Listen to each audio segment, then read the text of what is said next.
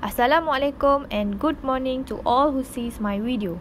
Today, I am Mimi Natasha as the presenter of the 10th Royal Institution of Chartered Surveyor and Royal Institution Surveyor Malaysia undergrad conference from the Bachelor Building Surveyors Center of Architecture, Planning and Surveying would like to present my research about the potential study on implementation HBIM Historic Building Information Modeling in National Heritage Building.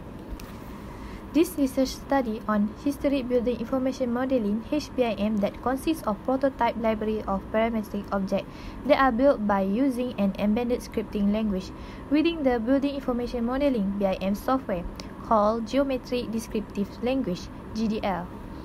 This software was designed based on historic architectural element by either using historic manuscript or architectural pattern book ranging from Vitruvius to 18th century be mapped onto point cloud and image survey data by laser, scan or photogrammetric survey.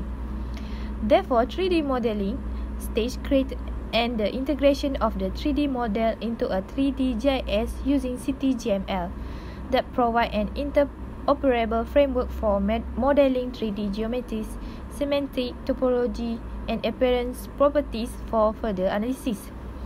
The problem statement of this study are there an issue of poor construction information, lack of information about its internal structure and the mutual relation between the compounding architecture element. High modeling or conversion effort from capture building data into a semantic BIM object and lack of BIM knowledge and lack of highly skilled staff that are able to handle and manage BIM technology. The aim of this research is to enhance the potential on the implementation of the HBIM in the National Heritage Building, whereby the three objectives of this study is to study the awareness of national conservator toward the implementation of HBIM in National Heritage Building. Second, to determine the benefit and challenges of HBIM implementation in National Heritage Building, and lastly, to recommend the best practice of HBIM in National Heritage Building. This research is based on the data obtained from survey questionnaires that will be distributed to professional bodies.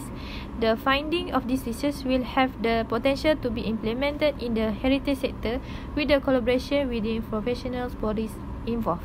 Therefore, I believe HBIM can be used for creating, conserving, documenting and managing complete engineering drawing and information where it represents a new paradigm within architecture heritage. That's all from me.